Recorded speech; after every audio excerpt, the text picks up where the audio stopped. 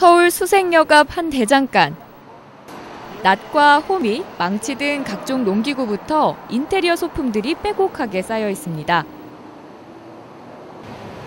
도심에선 좀처럼 보기 힘든 이곳은 이른 아침부터 뜨거운 화덕의 열기로 후끈한데요.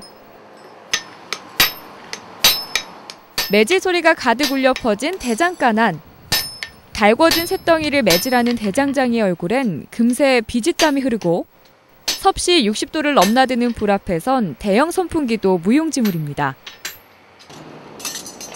뜨거운 화덕과 벌겋게 달아오른 주물을 다룬 지 올해로 48년째인 대장장이에게 폭염은 그저 남의 얘긴데요. 아 무지하게 덥죠.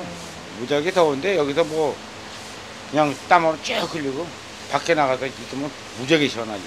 아주 개운해요 아주.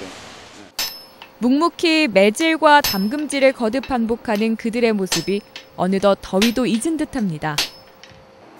대장장이의 꿈을 안고 무작정 대장간으로 들어온 앳된 얼굴의 수련생. 한 해를 넘기다 보니 이젠 한여름 무더위가 꽤 견딜만 하다는데요. 뜨겁다 보니까 오히려 여름이 여름 같지가 않고 오히려 더 시원해요. 그래가지고 올해는 진짜로 아, 여름이 아직 안 왔나 뭐 이런 느낌으로. 30도가 넘는 무더위가 무색하게 얼음꽃이 가득 핀 이곳.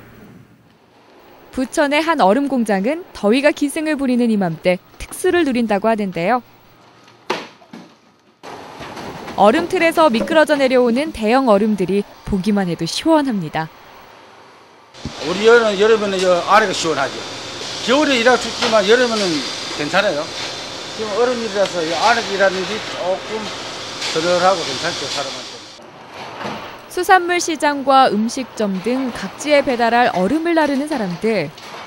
배로 늘어난 주문량에 맞춰 분주히 움직이느라 추위를 느낄 새도 없는데요.